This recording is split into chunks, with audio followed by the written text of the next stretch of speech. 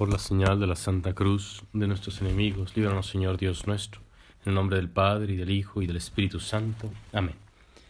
Señor mío y Dios mío, creo firmemente que estás aquí, que me ves, que me oyes.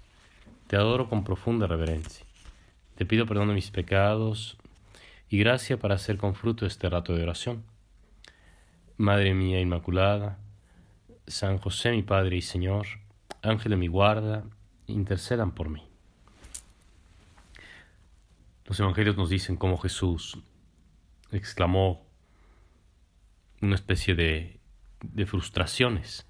Ay de ti, Corazaína, ay de ti, Betsaida, se lee en el evangelio que se proclama hoy en la misa. Si se hubieran hecho en ti las señales que, que se han hecho o que se hicieron en el Antiguo Testamento, ya se hubieran, ya se hubieran convertido. Y tú, Cafarnaún, continúa diciendo el Evangelio, piensas escalar hasta el cielo, bajarás al abismo. El que se enorgullece será humillado, pero el que se humilla será enaltecido. Y bien se cumple esta regla evangélica en la vida de, la santa que, que, hoy se conmemora, de Santa Teresita del Niño Jesús y de la Santa Faz. La pequeña Teresa, que deseaba llevar impresa en su, en su cara, en su rostro, en su alma, la faz de Cristo. Teresa del Niño Jesús y de la Santa Faz. Los santos no son canonizados porque hayan escrito bellamente o por que hayan dejado textos donde describen con vehemencia sus deseos de santidad o sus arrobamientos místicos o porque hayan plasmado con buena pluma su, sus luchas interiores o, o el gran amor que le tienen a Dios o sus deseos de martirio incluso. Los santos son canonizados por la vida que llevan y a partir de los testimonios de quienes convivieron con ellos se verifica ese tenor de vida. Y quienes convivieron con Teresita el Niño Jesús pudieron decir que vivió coherentemente lo que muchas veces dijo de palabra. Y fue precisamente viendo su vida que, que su hermana, que a la sazón era también la superiora del convento donde Teresita vivía, le mandó que escribiera, que pusiera por escrito todo aquello que ella consideraba que Dios había hecho en su alma. Y así nacen esos manuscritos autobiográficos, donde Teresa obedece, se humilla, porque siempre es un poco humillante tener que compartir lo que Dios hace en el alma y que es como más íntimo. Pero Teresa fue obediente y fue humilde y, y acató la orden de su superiora, que era su hermana, su hermana de sangre. Pero ahí ya no valían los lazos de la sangre, sino más bien los lazos del espíritu. Y puso pues manos a la obra y comenzó a escribir este texto que para nosotros, para las generaciones que hemos venido después, es, es inspiradorísimo un texto donde en el centro explica, explica su vocación, explica lo que ella entendió que era la voluntad de Dios para ella.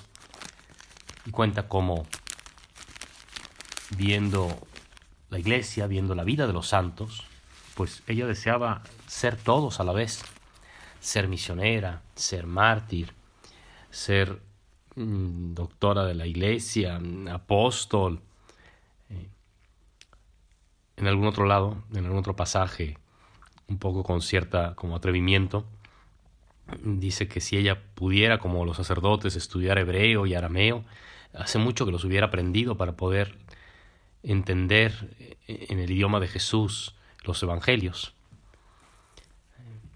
El caso es que quería hacer todos los santos. Pero claro, no se puede todos. No se puede tener todas las vocaciones. No se puede ser al mismo tiempo papa y, y estar girando por el mundo de misionero. No se puede ser al mismo tiempo misionero y ser un monje de clausura. No se puede estar en todos lados. Y Teresita se sintió por un momento como frustrada hasta que entendió al hilo de la lectura del apóstol San Pablo, donde el apóstol compara a la iglesia con un cuerpo y que cada cuerpo tiene miembros diversos y lo que hace un miembro no hace otro. Y al leer esas palabras empezó a sentir, dice, como una, como una luz y luego atinó. Atinó al reconocer o al, al descubrir como una revelación que en ese cuerpo hay un corazón y que en ese corazón está ardiendo el amor y que el amor es lo que impulsa todas las vocaciones. Y así Teresita dice, reconocí claramente y me convencí de que el amor encierra en sí todas las vocaciones. Entonces, llena de una alegría desbordante, exclamé, Oh Jesús, amor mío, por fin he encontrado mi vocación. Mi vocación es el amor. Dicho así, suena muy general, porque el amor abarca, sin lugar a dudas, todas las vocaciones. Lo admirable y ejemplar de Teresita el Niño Jesús es cómo supo realizar con amor todas las tareas de su vida, las más pequeñas de manera extraordinaria, con una caridad sobrenatural, que no era blandenguería. El testimonio de quienes convivieron con ella, pues las otras novicias y, las otras religiosas, Dicen que era firme, que era de carácter exigente y, de hecho durante un periodo fue maestra de novicias. No dejaba a, las, aspirantes, a las novicias, que, fueran chismosas o que fueran muy melancólicas o que, o que fueran así como muy blandas, ¿no? muy susceptibles. Era exigente. Ella misma cuenta en otro lado cómo pues en alguna ocasión venían algunas hermanas a quejarse con ella, a, como desahogarse un poco de que si otra hermana les había hecho, que si alguien ya las había mirado feo, que si la madre superiora no había apreciado el trabajo que habían hecho, etc. Y, Teresita las cortaba en seco. Dice, a mí no me vengan con esas cosas. ¿no? Y, y ella misma cuenta, dice, bueno, eh, si ya saben que soy así, ¿para qué vienen conmigo?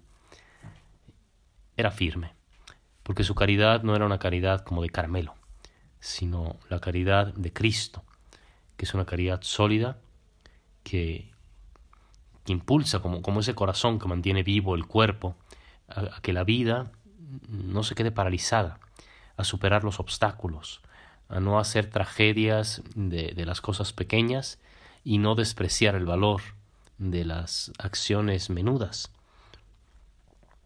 Un secreto difícil, y con razón, tras minucioso examen, después de mucha ponderación, al ver el mensaje de Teresita del Niño Jesús, la Iglesia reconoció allí una luz muy importante para nuestro tiempo, esto que ha venido a llamarse el caminito espiritual, y que es como el timbre o el título eh, con, la que, con el que Teresita del Niño Jesús recibió el doctorado en la Iglesia, es doctora de la Iglesia, el caminito espiritual humillarse, ser como un niño en brazos de Dios Padre y, andar por esa senda, ¿eh? de tal manera que pase lo que pase, suceda lo que suceda alrededor, con esa gran confianza de los niños en su Padre omnipotente, empezar una y otra vez y hacer las cosas con la confianza de que si son buenas, serán llevadas a término, aunque yo no lo vea. Pero mi Padre Celestial se encargará de que así sea hacer las cosas con mucho amor, cosas pequeñitas como podría ser enderezar un cuadro, hacerlo por amor de Dios y confiar en que esa acción, aunque sea tan mínima, hecha por el deseo de agradar a Dios, me va a llevar hasta el cielo. Por eso se llama caminito, porque no parece ser que se requiera de gran, grandes capacidades para enderezar un cuadro en una pared, pero es un caminito. Recorrerlo no es fácil porque supone hacerlo todo con ese mismo deseo de agradar a Dios, como un niño que busca agradar a su Padre. Te doy gracias, Dios mío, por los buenos propósitos, afectos e inspiraciones que me has comunicado en esta rato de oración. Te pido ayuda para ponerlos por obra. Madre mía Inmaculada, San José mi Padre y Señor, Ángel de mi guarda, intercedan por mí.